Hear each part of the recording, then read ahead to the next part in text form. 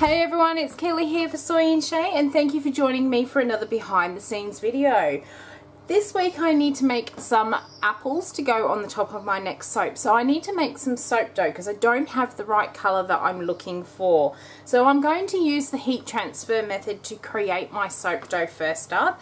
And I'm actually going to use some of the tips that you guys left me in the bottom of the video when I did the heat transfer method last time to see if I can get some better results.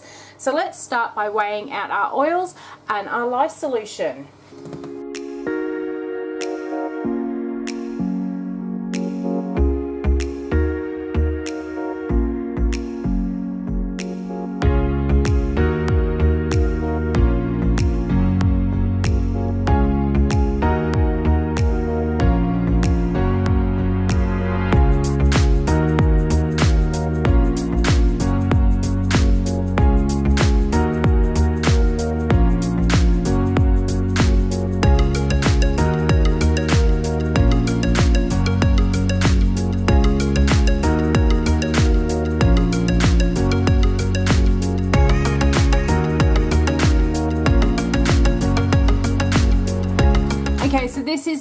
Actually clearing up, so we that means it has now all dissolved and is ready to start using. Now the idea behind the heat transfer method is that you use the heat from off this um, sodium hydroxide and water solution to melt down any of your hard butters and oils that may be in here. Because we are in summer, my only hard oil in here is my palm oil. My coconut oil is actually in liquid format. This is sitting at an average temperature, let's grab that one, of, it's not 65, I know that. We are sitting at an average temp temperature of 80 degrees Celsius or 177 degrees Fahrenheit. What I'm going to do, this spoon here, I always have um, some plain water sitting in my sink just over to the left here and I'm going to pop that straight in there just to neutralize that lye solution.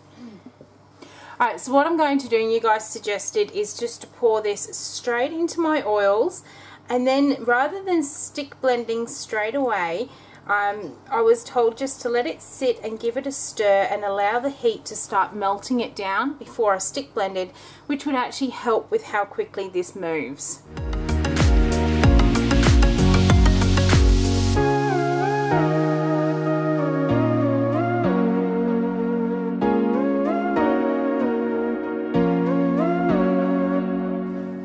So I think I've got these oils as melted down as I'm actually going to get them. My mix is sitting at about 43 degrees Celsius, which is about 109, 110 degrees Fahrenheit. What I'm now going to do is get my stick blender in here, give it a mix, and the colour I'm actually after is just the natural colour of the soap. My soap's quite a ivory looking soap so it's not really white it's not quite cream it sits in the middle there and that's the sort of look I want for these apples. So I'm going to get my stick blender in here, mix it up and then pour it out for my mould.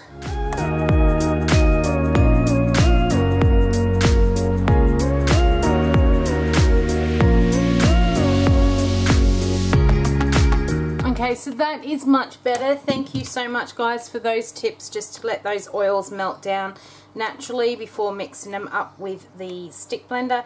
It has left my batter still actually sitting quite smooth and fluid here. So I'm going to now pour it into my mould, and then I would actually be tempted to use this technique to do some of my more swirly soaps as well. So just grab my mould here. As I said, I want this to be the natural colour of the soap. So I'm going to just pour this straight in here and then I'm going to leave this one set up overnight and then we will come back and we will make our apple shapes for the next soap. Okay, so I am back with my piece of soap dough here and what I am going to do is just break it up a little bit. It's still really soft in the middle here, but I'm going to do is just break it up into a few chunks here. I think it's too soft to start actually doing anything with. It's still going through its bit of saponification here.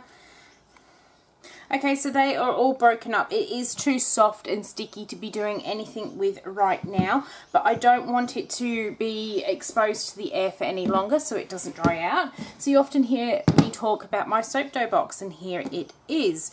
So it's just a regular box that I've got. I have these pieces wrapped up with some biodegradable um, cling film, but I've decided I don't like using that because I can never get them wrapped back up properly and they do dry out. So instead what I've got is some biodegradable um, or some degradable sandwich bags and that is what I'm going to be keeping this in because then I can just keep reusing these bags. So what I'm going to do is pop these into these bags for a couple of days just so that it can um, finish saponifying and it will become a lot easier to work with. Okay, so my soap dough has been sitting here for a couple of days and just resting. I'm just going to grab some out of this bag to start with.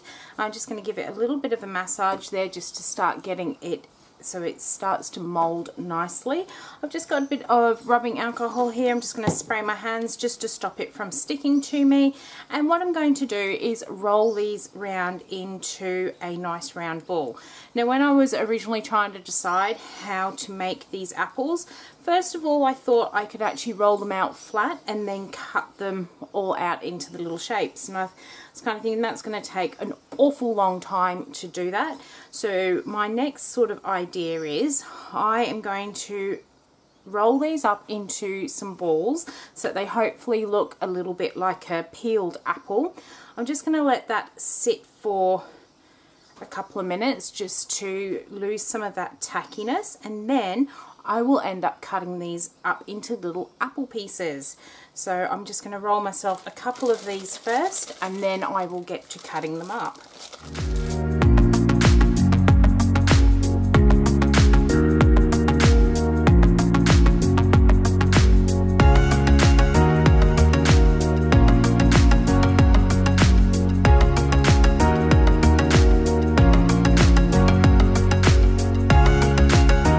Little apple shapes here now. What I'm going to do is let them sit here for about half an hour just to start firming up on the outside and then I'll be back and we'll actually cut these up into little wedges of apples.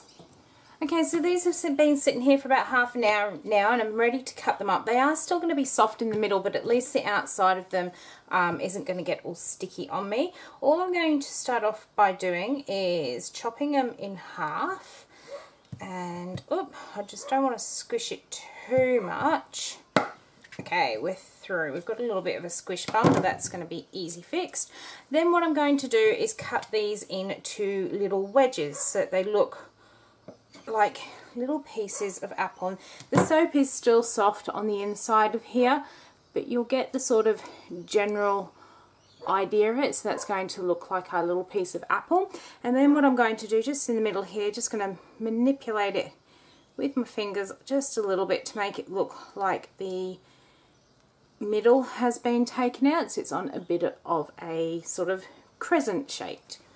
So I'll get some of these also chopped up.